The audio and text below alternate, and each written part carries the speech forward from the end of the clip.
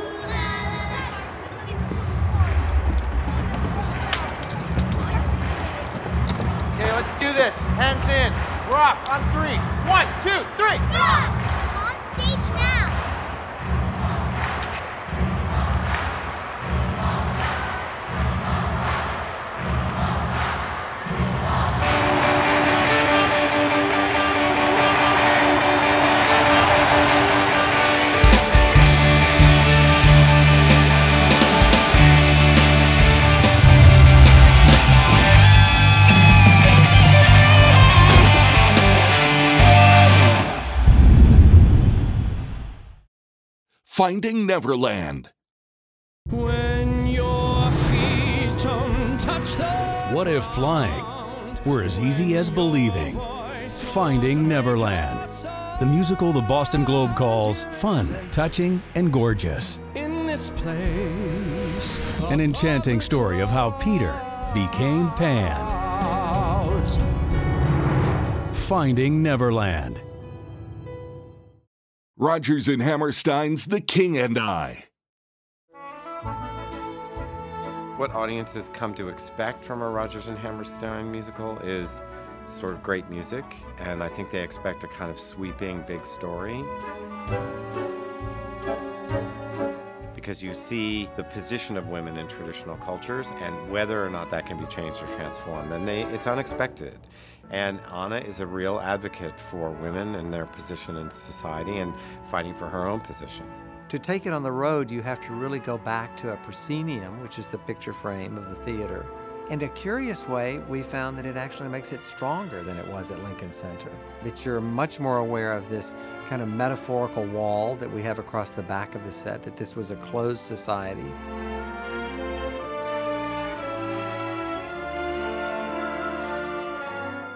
On one level, it's a form of escapism because it does take you to a different time and place. The visuals and the storyline is uh, exotic and romantic.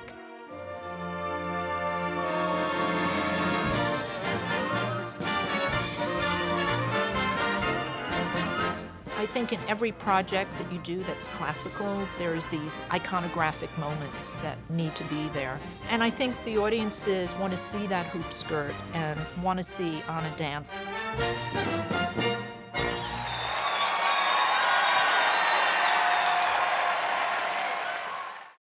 On your feet.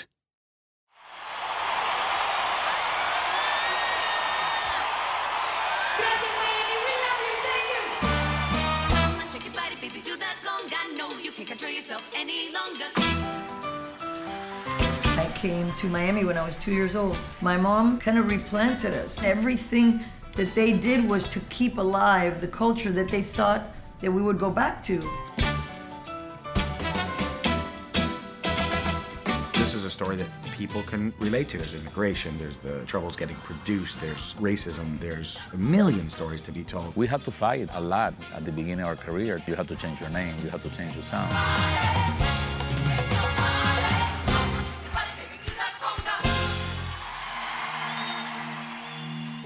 Life is never easy. The rest is unknown. Life can change in one minute. Singer Gloria Estefan is in critical condition tonight. Gloria Estefan and her band were on a tour bus when it collided with a tractor trailer. After I had broken my back, music was the biggest thing that got us through our life, and hopefully our music can also inspire other people as well. They prove that to this day in America, you can dream big, and if you're willing to sacrifice it all, there's a chance. We have a story to tell that I think will inspire a lot of people.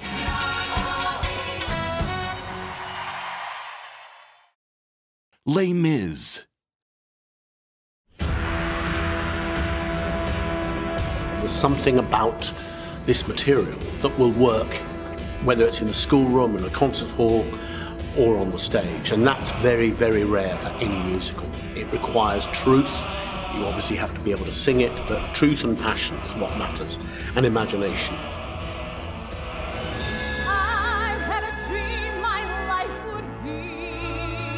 The very moment you're writing something, if you don't feel that you're writing the most beautiful thing in the world, you never start. It felt like we were ourselves writing the novel again in a different medium. And when we got to the end, we thought that we had something that was worth playing to other people because we enjoyed listening to it ourselves.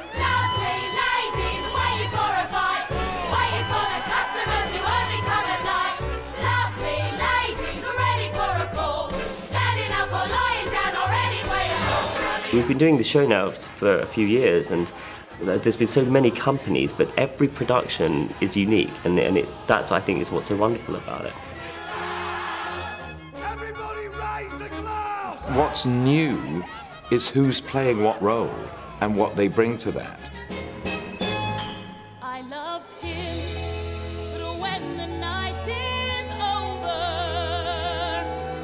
The cast get to stand on stage and ask questions of the audience.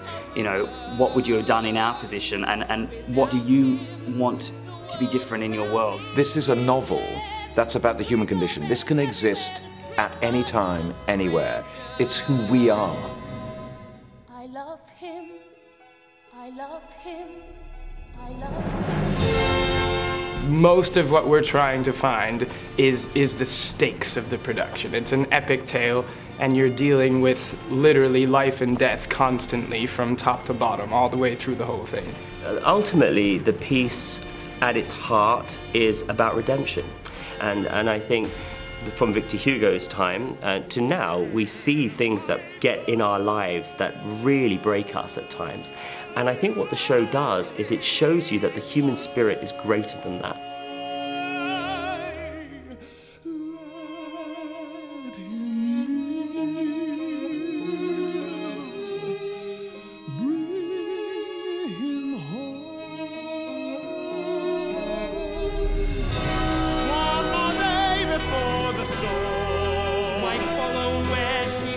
All this has made complete very different new productions. Very exciting, you know, to see another production of that caliber happen during your lifetime. It doesn't happen often.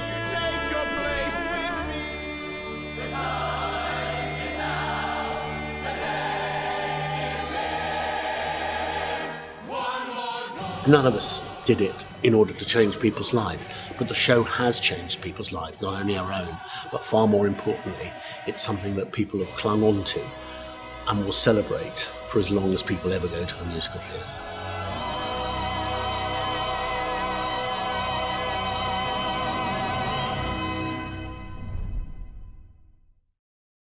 Waitress.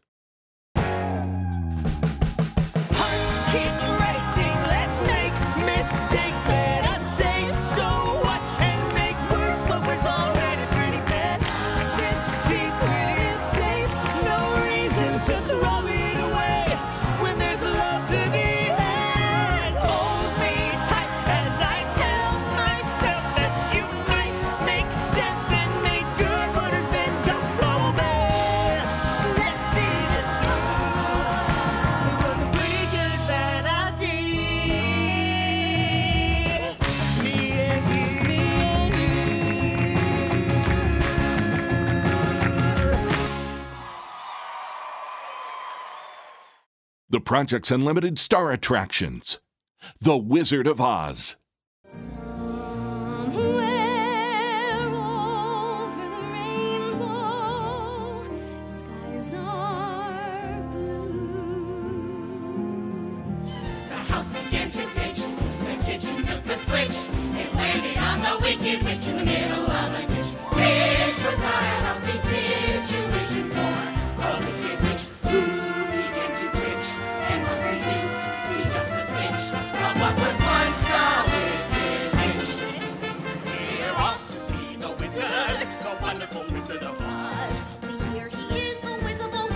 Ever a waste there was. If ever, oh, ever a waste there was, the Wizard of Oz is one. Because, because, because, because, because. Because of the wonderful things he does. We're off to see the wizard, the wonderful Wizard of Oz. Rudolph the Red-Nosed Reindeer, the musical. Rudolph the red-nosed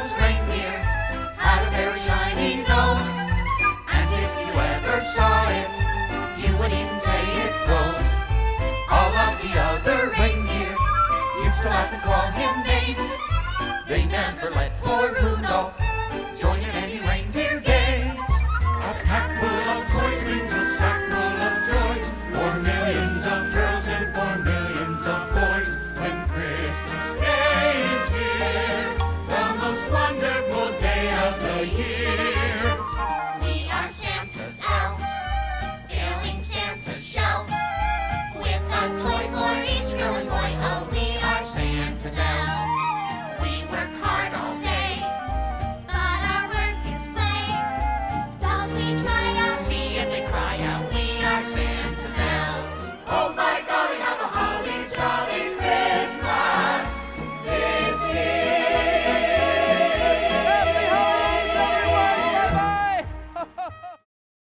Chicago.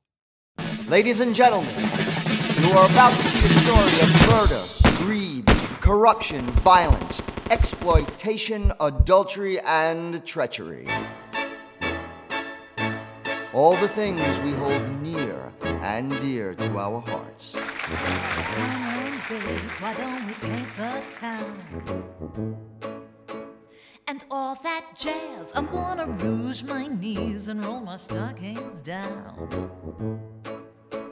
And all that jazz, start the car. I know a whoopee spot where the gin is cold, but the piano's hot. It's just a noisy hall where there's a nightly brawl and all that jazz.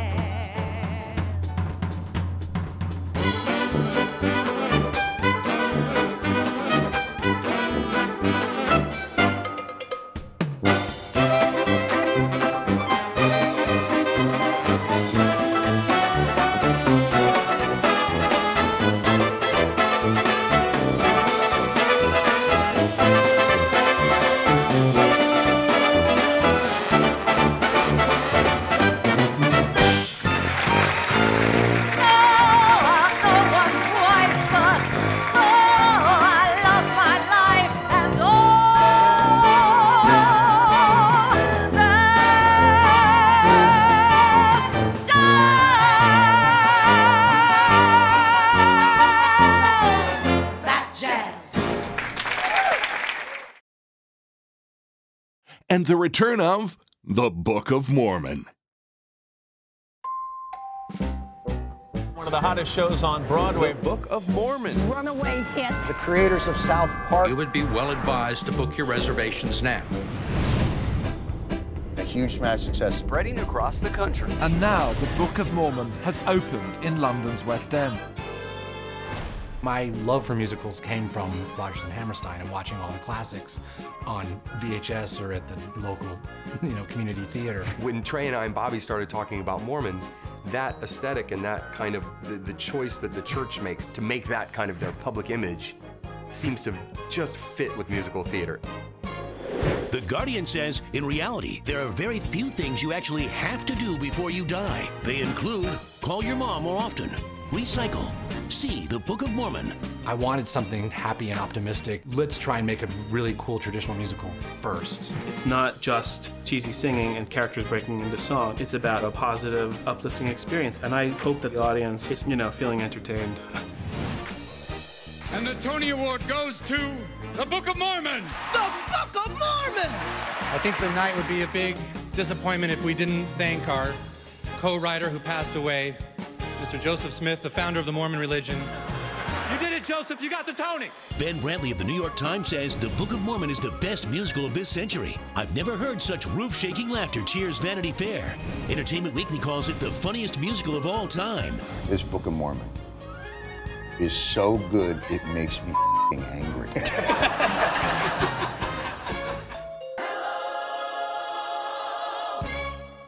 Get your tickets now.